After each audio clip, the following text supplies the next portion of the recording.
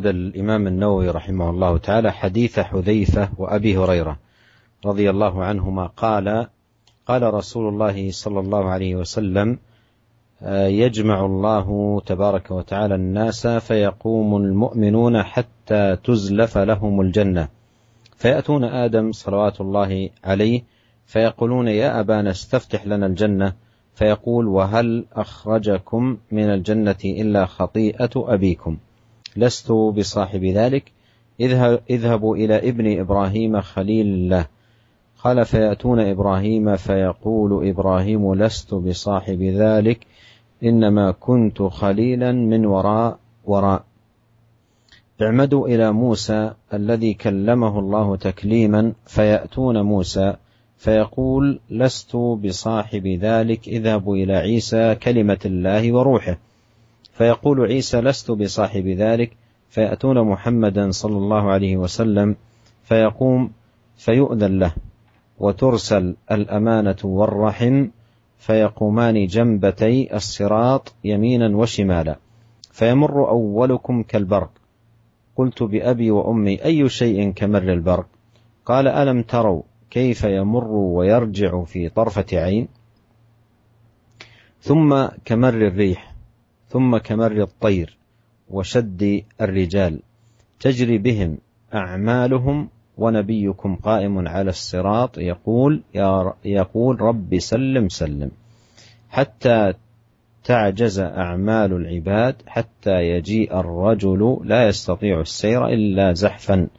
وفي حافتي الصراط كلاليب كلاليب معلقة مأمور بأخذ مأمورة بأخذ من أمرت به.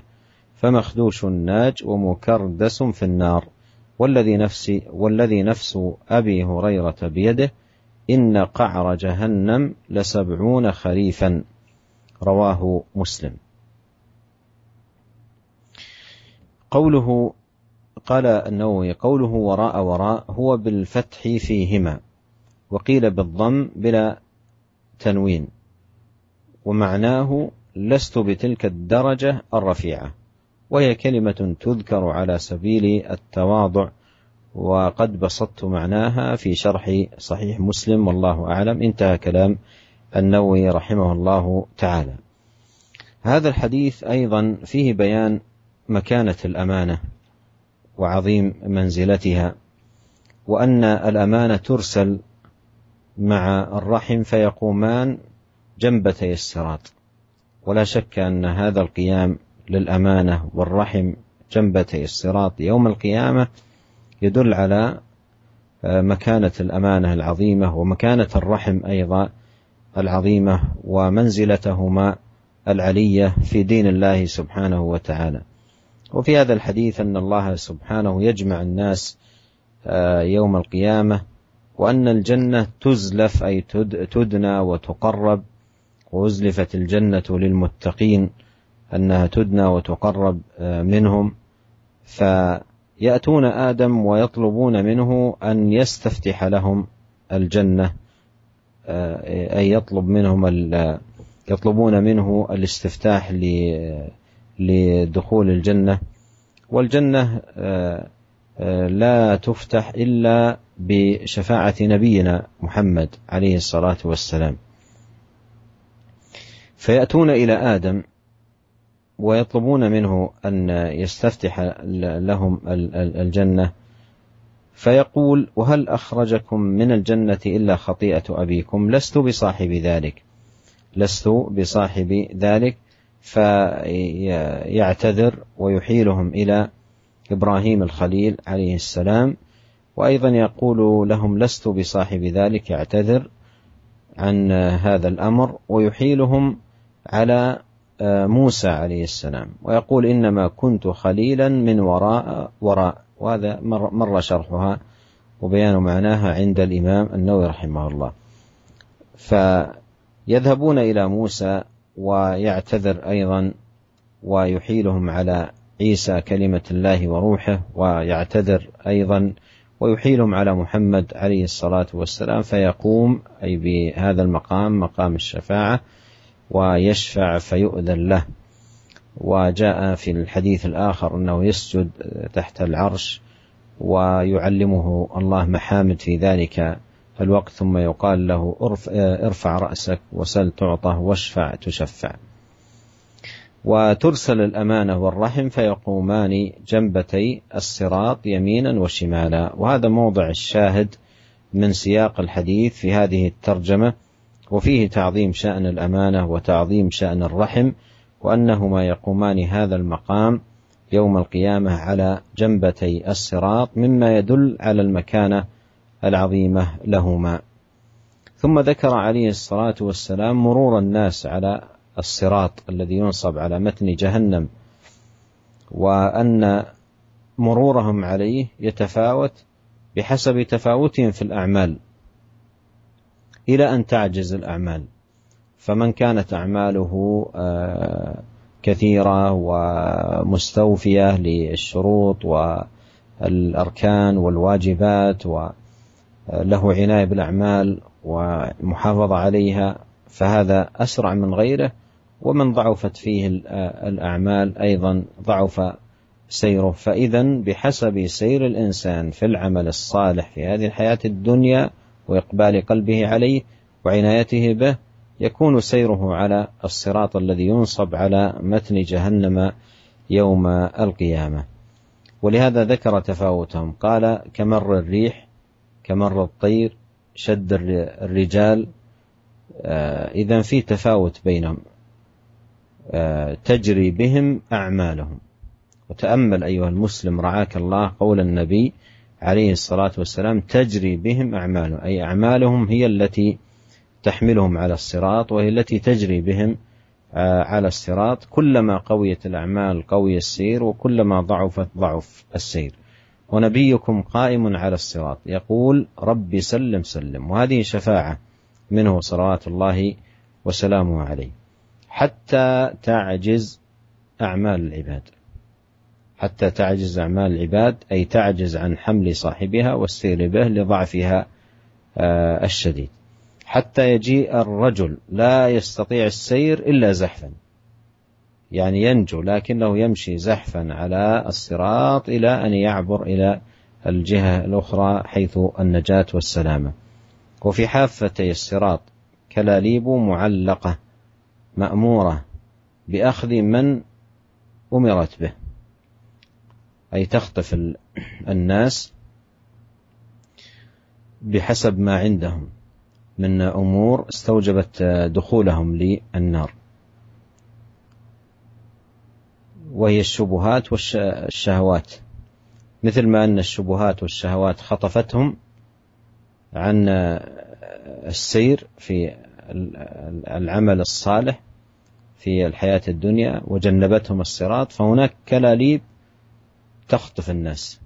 من خطفته الشبهات والشهوات في الدنيا عرضة لأن تخطفه الكلاليب المعلقة المأمورة بأخذ الناس وخطفهم بأعمالهم. فمخدوش ناج ومكردس في النار. يعني منهم من يصاب بخدش وينجو ومنهم من يكردس أي يلقى ويطرح في النار. ثم ذكر أبو هريرة عمق النار قال والذي نفس أبي هريرة بيده إن قعر جهنم لسبعون خريفا. والحديث رواه الإمام مسلم في الصحيح وهو حديث عظيم في باب الأمانة وعظيم شأنها وأهمية المحافظة عليها ونسأل الله عز وجل أن يجعلنا من الحافظين للأمانة.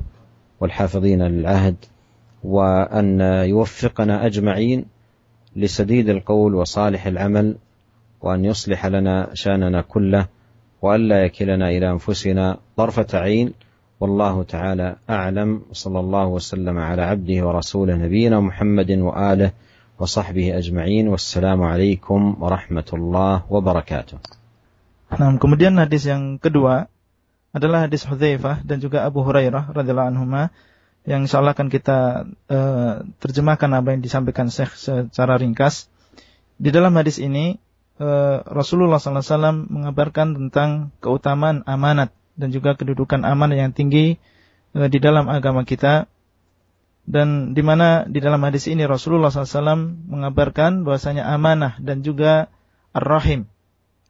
Ya, ar-rahim, hubungan ar-rahim ini nanti di hari kiamat akan diutus secara bersamaan dan akan berdiri di samping kanan dan juga kiri as-sirat. Ya, ini menunjukkan tentang bagaimana kedudukan amanat dan dan juga rahim di dalam di dalam agama kita. Dan juga di dalam hadis ini Allah Subhanahu wa taala mengumpulkan manusia ya pada hari kiamat dan e, akan didekatkan surga kepada orang-orang yang beriman dan bahwasanya orang-orang yang beriman akan meminta ya meminta dibukakan pintu surga dan mereka akan datang kepada Nabi Adam. Kemudian untuk di, untuk dibukakan ya pintu surga untuk dimintakan dibukakan pintu surga akan tapi Nabi Adam iktidar. Ya beliau merasa tidak berhak dengan perkara ini. Kemudian beliau menyuruh manusia untuk uh, uh, pergi kepada Nabi Nabi Ibrahim beliau juga iktidar ya tidak bisa karena beliau tidak berhak. Kemudian Nabi Ibrahim menyuruh manusia untuk pergi ke uh, Nabi Musa. Beliau juga merasa tidak berhak. Kemudian Nabi Musa menyuruh manusia ke Nabi Isa. Sampai akhirnya sampailah e, manusia kepada Nabi Muhammad SAW. Ya, akhirnya beliaulah SAW yang e, memintakan ya untuk manusia kepada Allah supaya dibukakan pintu surga. Dan beliaulah e, syafaat ini adalah khusus e, beliau Sallallahu Alaihi Wasallam. Ya, kemudian e, di dalam hadis ini juga Rasulullah SAW menerangkan kepada kita tentang bagaimana manusia ketika melewati sirat. Ya, jembatan yang berada di atas neraka di mana manusia mereka berbeda antara satu dengan yang lain sesuai dengan amalnya. Apabila amalnya ini banyak dan juga sesuai dengan syarat-syarat rukun dan kewajiban yang ada di dalamnya, maka semakin dia cepat ketika melewati sirat. Akan tapi semakin lemah amalannya, maka semakin e, lambat juga dia melewati melewati sirat sehingga di dalam akhir hadis ya ada seorang laki-laki yang datang ya dan melewati sirat dalam keadaan merangkak. Ya karena amalannya atau imannya yang sangat yang sangat lemah. Kemudian juga beliau menyebutkan di akhir hadis ya bahwasanya di samping kanan kiri sirat ini nanti ada kail-kail ya dari besi yang mereka diperintahkan untuk e, mengambil atau mencabik uh, orang yang diperintahkan oleh Allah untuk di, dicabik. Ya, sehingga ada di antara orang yang lewat tercabik-cabik akan tapi dia akhirnya selamat sampai ke surga. Tapi ada di antara mereka yang terjatuh di dalam di dalam neraka. Jadi hadis ini adalah hadis yang agung tentang masalah amanat dan kita memohon kepada Allah Subhanahu wa taala semoga Allah menjadikan kita orang-orang yang bisa mendapatkan amanat.